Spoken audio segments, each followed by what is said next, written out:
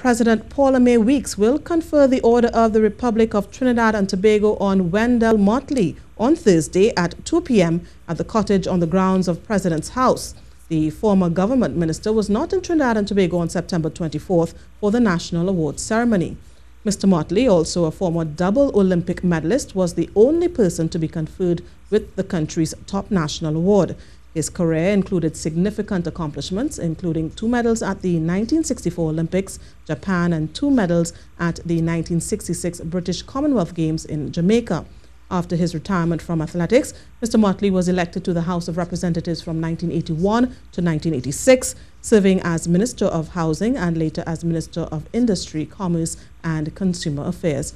He was elected for another term in 1991 and served as Minister of Finance from 1991 to 1995.